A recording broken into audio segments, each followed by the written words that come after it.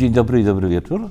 Kolejne wycinanki prasowe, a ich e, leitmotivem będzie to, że też poza tym, co w tygodnikach, powiem Państwu trochę o okładkach, e, a pretekstem do tego jest znakomita okładka roku, mimo że mamy styczeń e, polityki, najnowszego numeru polityki.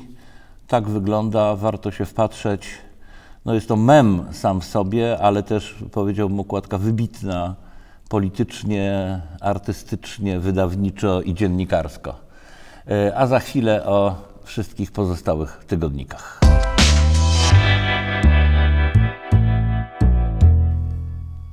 Jako się rzekło, ta okładka polityki e, ze znakomitym, ze znakomitym e, rysunkiem, jakże symbolicznym, jeszcze raz ją przypomnę. To jest tak, że tygodniki, w ogóle cała prasa, no, generalnie kolorowa, choć kolorowa na ogół oznacza tę mniej poważną, od dawna się zastanawiają, jak walczyć o czytelnika okładką.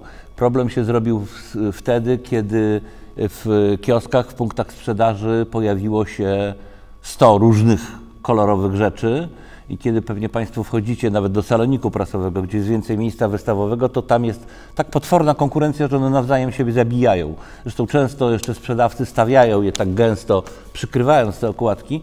To jest zawsze problem co znaleźć na okładkę? Są, e, są tygodniki, które konsekwentnie lecą twarzami. Taki jest wprost na przykład. Akurat z twarzą może niezbyt sympatyczną, ale, ale zasada jest, jest jedna. Taka zresztą też bywa polityka, chociaż tutaj jest nie zdjęcie, tylko właściwie rysunek, e, jakaś poprzednia e, polityka. Już przegląd na przykład próbuje coś budować innego, czyli jakąś jakąś historię y, zawartą w takim kombinowanym zdjęciu razem z grafiką, no to niestety jest problem, bo y, temat jest wyznaczany przez redaktora, a potem grafik musi się męczyć, co z tym zrobić, żeby to było atrakcyjne. A jest jeszcze tak, że polskie, właściwie wszystkie redakcje prasowe są potwornie niedoinwestowane. E, czasu i pieniędzy na zrobienie na przykład specjalnego zdjęcia pod okładkę na ogół nie ma. Szuka się tego, co jest gotowe, a jeszcze najlepiej, żeby zdjęcie było za darmo albo bardzo tanie, więc e, polskie okładki prasowe nie są e, nadzwyczajne. Na ogół są nudne. Na ogół jest tak, że jeżeli nie widzimy dużego logotypu, czyli nazwy pisma, to w ogóle trudno je od siebie odróżnić, ale parę pereł w każdym roku się zdarza. Ja przez chyba 15 lat byłem w takim jury konkursu, który nazywa się Grand Front, czyli właśnie na najlepszą okładkę prasową. No i zawsze jakieś tam jedna, dwie do pięciu okładek, e, na przykład tygodników opinii się znajdowała, ale biorąc pod uwagę, że tygodniki wychodzą na ogół 52 razy w roku, to ta liczba e, okładek udanych, ciekawych e, i merytorycznych, ale i zawierających jakiś greps, no, nie rzucała na kolana, trzeba powiedzieć. Ale jak mówię, tym się kończą oszczędności. Ale dlatego też apeluję do Państwa. Po to mój przegląd, żebyście przynajmniej raz w tygodniu jeden tygodnik jednak kupili, jeżeli chcecie, żeby w tym kraju istniała, e, istniała niezależna e, prasa. E, prasa zależna, rządowa ma dzisiaj ogromne, ogromną pomoc ze strony różnych funduszy rządowych, legalnych, nielegalnych, półlegalnych, w szarej strefie, w czarnej strefie oni się nie muszą martwić. Natomiast prasa niezależna, demokratyczna ma ogromne kłopoty. Od nas zależy, czy, y, czy przetrwa i czy będzie spełniała swoją rolę, czyli będzie nas uczciwie informowała o tym, co się dzieje w Polsce i na świecie. To tyle tej y, ogólnej dygresji, ale co konkretnie można y, po, polecić w polityce, jeżeli już ją tak chwaliłem za okładkę, Y, to od razu powiem y, o ciekawym bardzo wywiadzie Jacka Żakowskiego z profesorem Rafałem Chwedorukiem. No, to jest generalnie ten temat, który wałkujemy piąty rok, czyli my, a PiS. Nie będę tym razem nic cytował z tego wywiadu, natomiast polecam Państwu jego lekturę, ale również pod tym kątem, żeby zobaczyć, jak różne potrafią być wywiady. Czasem się mówi wywiad, czasem się mówi rozmowa.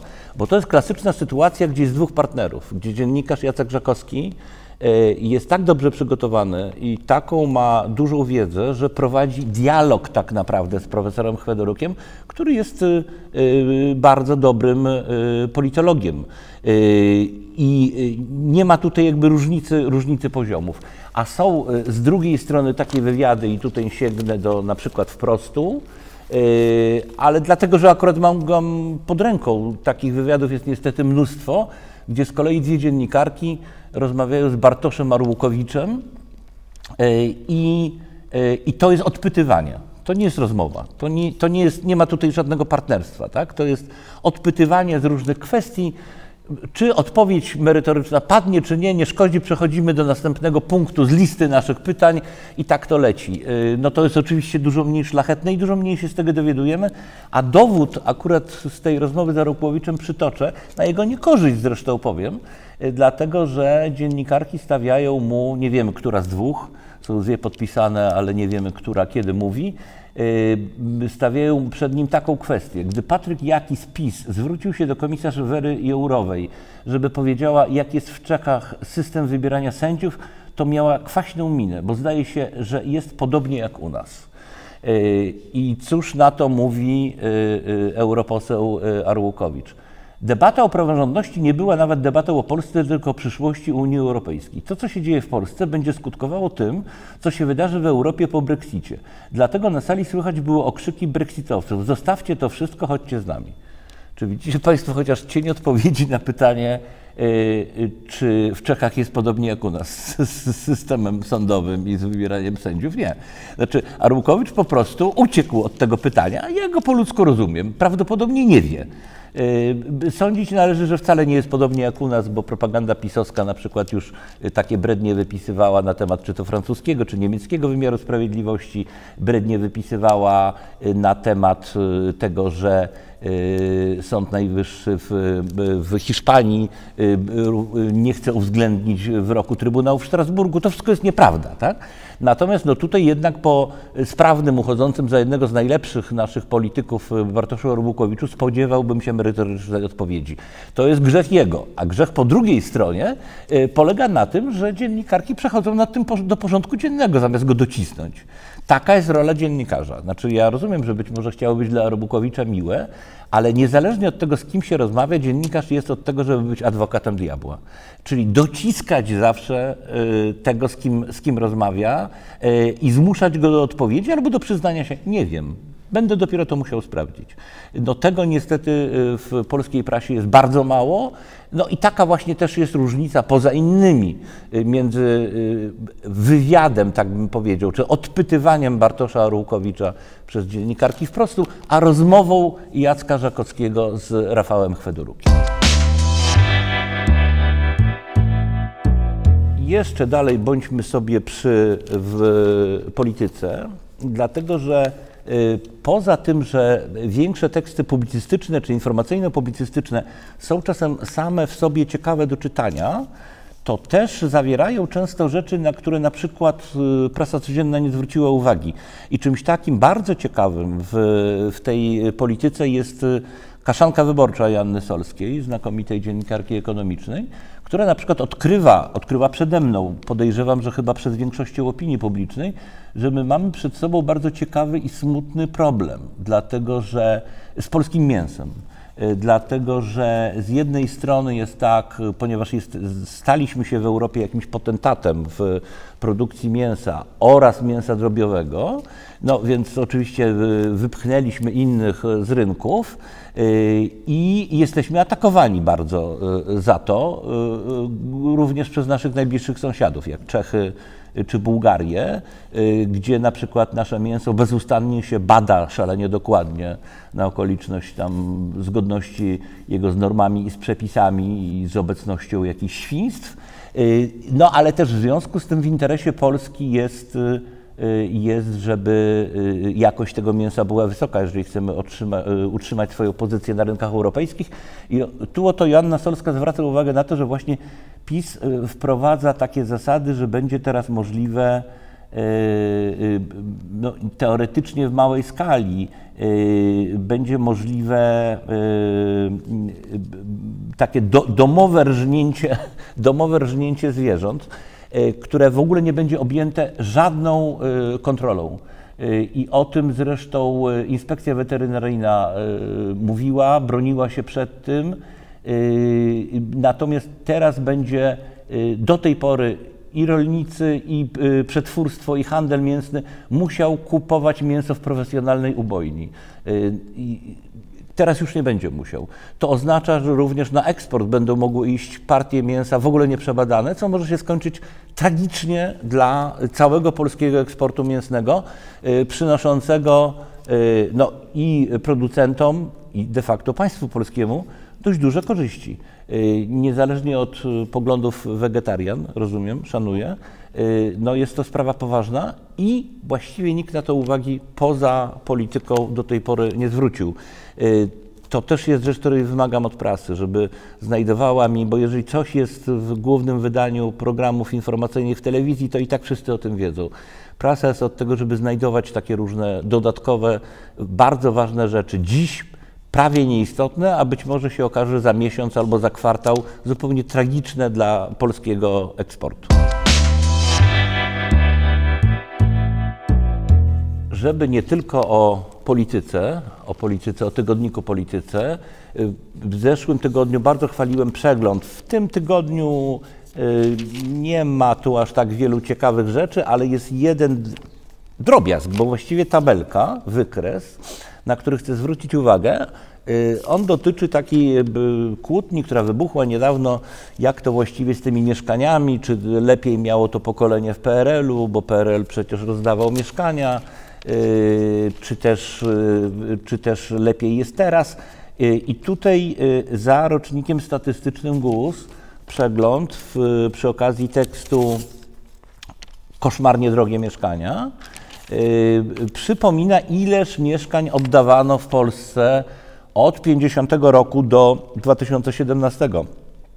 I tak, z jednej strony niby wiemy, że podobno wolny rynek to jest coś, co nas zbawia i co sprawia, że jeżeli jest popyt, czyli chęć zakupu mieszkań, to wolny rynek dostarcza takiego towaru w odpowiedniej ilości. A z drugiej strony okazuje się, że w latach 90., y, no oczywiście dość biednych jeszcze, y, y, oddawano w Polsce więcej mieszkań, znaczy przepraszam, mniej mieszkań niż na początku lat 50., no kiedy jeszcze Polska była cała w gruzach, ale nie dość na tym, Rekord z 2017 roku, który wynosił 178,5 tysiąca mieszkań, no, y, nijak się ma do szczytu perelowskiego, gierkowskiego Prosperity. W 1978 roku oddano 283 y, 600 mieszkań, czyli dobrze ponad 100 tysięcy mieszkań więcej. E, ja nie twierdzę, że te dane świadczą o wyższości PRL-u, oczywiście nad kapitalizmem i nad wolnym rynkiem, ale bardzo mi zawsze w wielu dyskusjach publicystycznych brakuje oparcia się na faktach, dowodach, statystykach. W Polsce bardzo często publicystyka, również niestety y, w tygodnikach y, politycznych, w tygodnikach opinii polega na tym, że nie udowadnia się jakiejś tezy, tylko mówi się, co ja sądzę.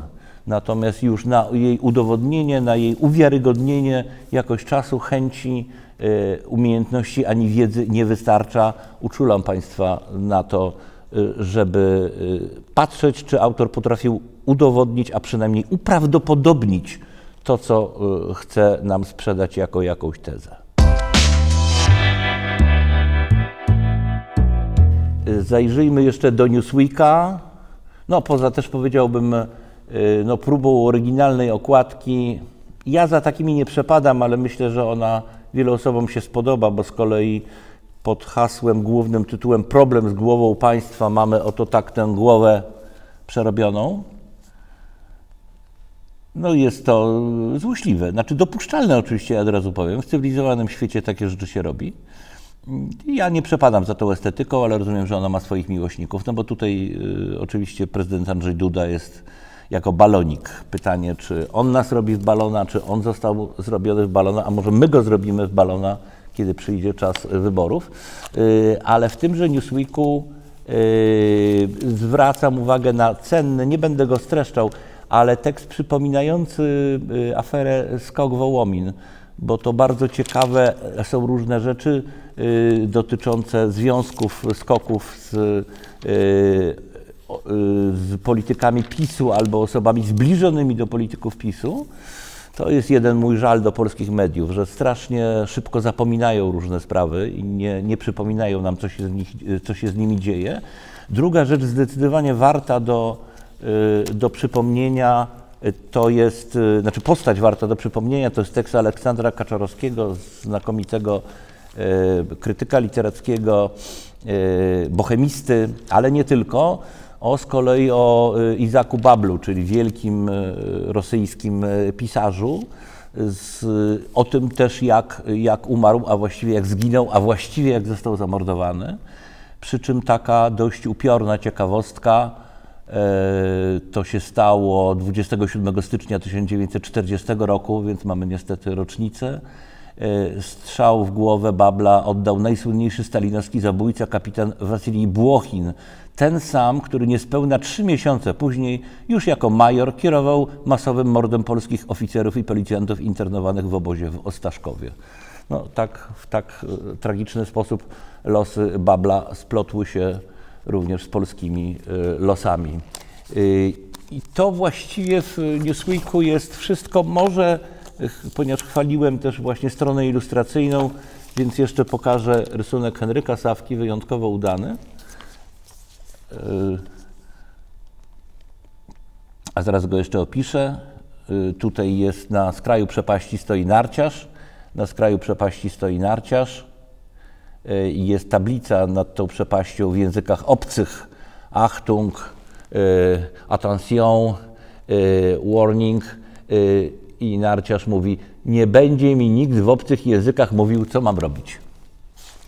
Myślę, że to jest dobra puenta do jednego z, z ważniejszych wystąpień prezydenta Dudy w ostatnim czasie. I na sam koniec Y, jest taka y, zasada, y, że również w tygodnikach daje się coś, co się nazywa Michałkami, czyli takie drobne informacje nieobudowane jakimś, jakimś wielkim backgroundem, a tutaj bardzo ciekawa rzecz przy okazji styczniowego forum ekonomicznego w Davos. Pokazano badania dotyczące tego, w jakich krajach świata najwyższa jest mobilność społeczna, czyli możliwość awansu społeczno-ekonomicznego.